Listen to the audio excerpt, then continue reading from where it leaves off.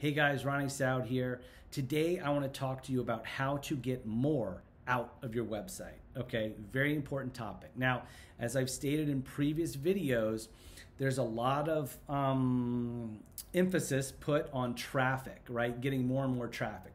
The traffic portion, the traffic coming to your website, is only 50% of the battle. The other 50% is on the website itself, okay? It's it, does the website make it easy for the user to find the information that they want? And then number 2, does the website properly sell what you have to offer? And I want to talk to you about some tools to help kind of refine that, okay? So, Number one, in dealing with your site, you want to make sure that you have Google Analytics, um, which is a website stats tracker installed on every page of your website. This is going to tell you the who, what, when, where, and how um, of people coming to your site. You know, who came, right? How did they get there? Meaning, was it social media? Was it Google? Was it Bing? Was it another website? So on and so forth. What pages they visited, how long they stayed, and what city they're they're from.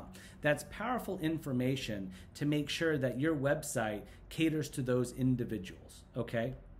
The other thing that I want to talk to you about, and what might be a little cooler and maybe lesser known, is something called heat map tracking, right? So now that you know you're getting people from the right neighborhoods and the right cities to come to your site, and you know that the right ad campaigns and, and social media platforms are sending traffic to your site.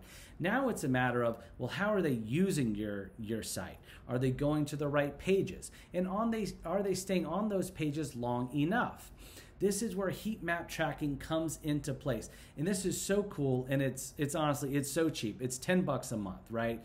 Um, through people like Crazy Egg and Lucky Orange and Mouseflow and so on and so forth. But basically, it tracks the cursor movements and, and the finger movements on a page that that a user visits. So, if they're going to one of your main service pages and you want to make sure that they scroll down, you know, towards the middle or the bottom and and, and they watch a video or they read an important part, a heat map tracking tool does just that. Okay, it tells you what parts of a page um, users visit. Okay, and if a, a, a large collection of those view Uh, of sorry, if a large enough collection of those visitors is not visiting a certain portion of that page that you need to, maybe you need to rearrange the elements on that page to get those higher, or maybe you need to use graphical elements to call them out more. Guys, this is serious stuff. It will greatly impact the amount of conversions that you make from your website.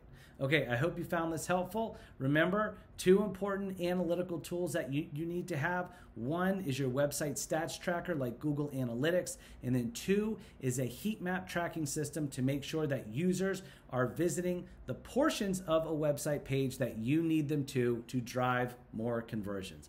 All right, I hope you found this helpful. Thank you. I'll be back at you next time. Bye bye.